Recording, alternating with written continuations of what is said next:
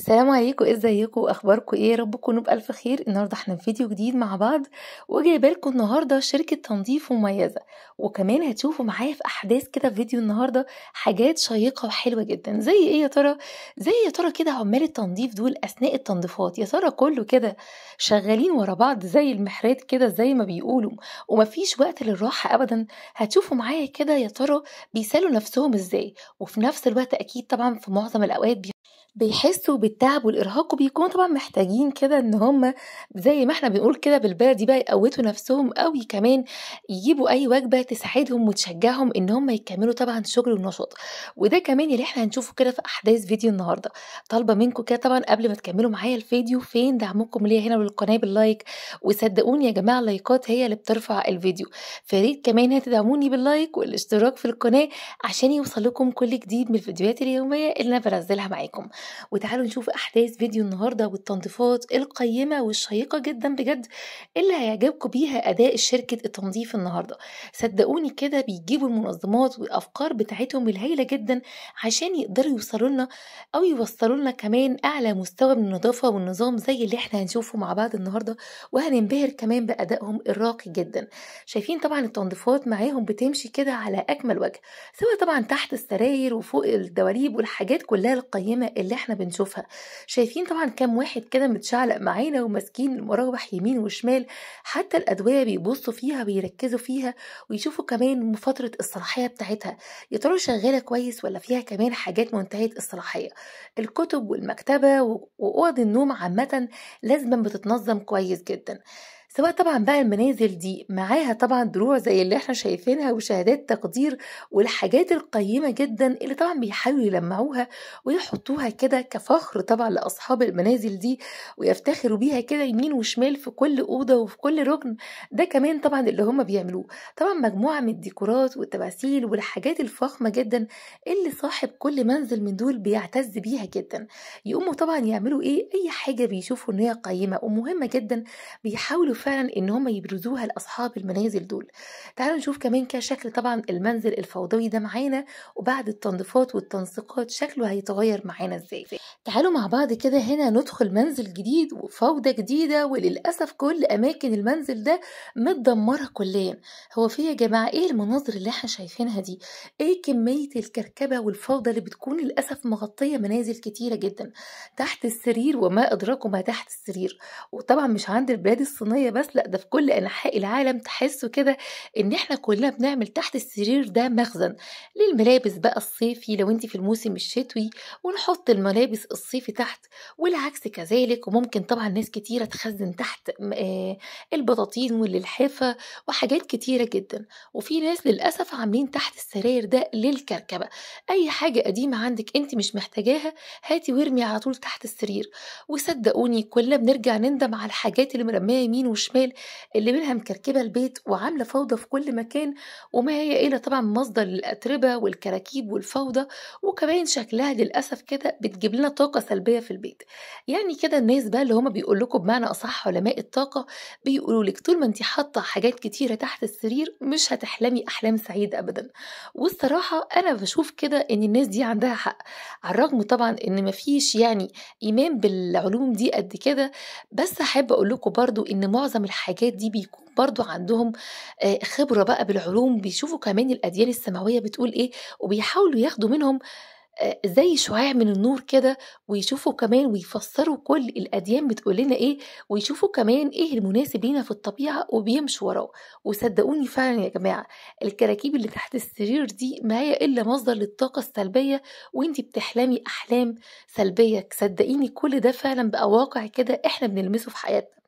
أو كمان لو انت نايمة في أوضة مكركبة ما تقوليليش وما تقنعنيش إن انت هتحلمي أحلام سعيدة. تعالوا نبص هنا كمان كده على شكل الفوضى اللي كانت موجودة وبعد ما البيت بقى معانا وحوالينا زي الفل. وتعالوا نشوف كده طبعا الأماكن وهي فاضية في البيت بتديكي راحة نفسية قد إيه. تعالوا نبص هنا كمان كده عمال التنظيف وهم بيستغلوا كمان وقت الفراغ بتاعهم في الأكل ومحتاجين طبعا شوية طاقة تخليهم يقوموا ويشتغلوا ويتنشطوا كمان بعد المجهود اللي هم بيعملوه. خصوصا كمان بقى في منازل فخمة زي القصر أو الفيلا اللي موجودة معانا أو كمان المنزل الأدوار الأدوار الكتيرة اللي موجود معانا ده. شايفين طبعا كام شخص بيشتغل آه، في المنزل ده أكتر طبعا يمكن من 20 أو 30 شخص. وأثناء كمان درجة الحرارة العالية بيكونوا محتاجين كده زي شاور فيجيب كده راسه يحطها تحت المية عشان يعمل انتعاش لنفسه بعد المجهود القاسي ده.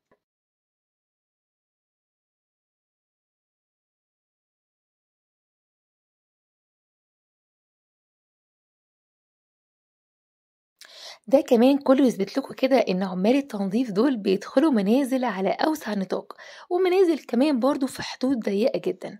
كل منزل من دول أكيد حسب إمكانياته المادية وكمان المعنوية.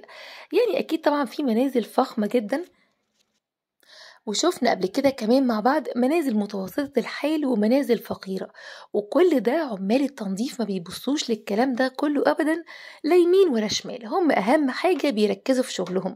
يا ترى المنزل ده محتاج وقت قد إيه للتنظيف؟ يا ترى هيقضوا فيه كام ساعة؟ يا ترى فعلا هيخلص في خلال وقت قد إيه؟ بيحاولوا يفكروا دايما في الإنجاز اللي هم هيوصلوا بيه خلال آه، وجودهم في المنزل ده.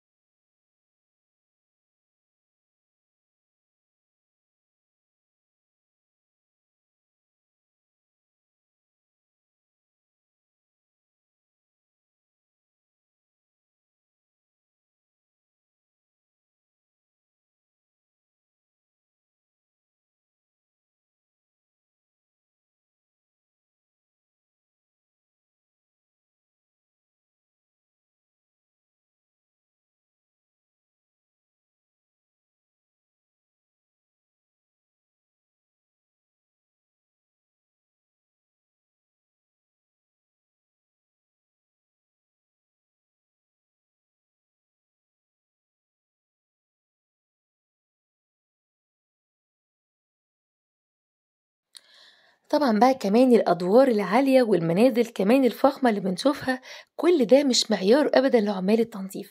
هم هدفهم الأول والأخير هو النظافة. ملهمش دعوة المنزل اللي إحنا داخلينه ده. منزل ناس بسيطة فقيرة متوسطة إحنا لينا أجر معين هناخده وكمان لينا كمان شغلنا اللي إحنا هنقوم بيه على أكمل وجه. ومن خلال شغلنا إحنا بنتكلم. مش بنروحش بقى هناك نتصاحب على أصحاب المنزل ولا نعرف المشاكل النفسية اللي بيمروا بيها ولا المشاكل المعنوية ولا الكلام ده كله خالص. ممكن أصحاب المنزل طبعا يبرروا الفعل اللي إحنا بنشوفه خلى المنزل ده يوصل بيه الحال للشكل المتدني. وكمان في ناس كتيرة جدا بتلتزم الصمت وهنا طبعا في كلا الحالتين بيرحبوا بأصحاب المنزل ومفيش عندهم لا مجال للتفاوض ولا النقاش أبدا. ولا إيه الأسباب طبعا اللي خلت المنازل دي توصل للشكل المتدني والمتدهور اللي إحنا بنشوفه في الفيديوهات كل يوم.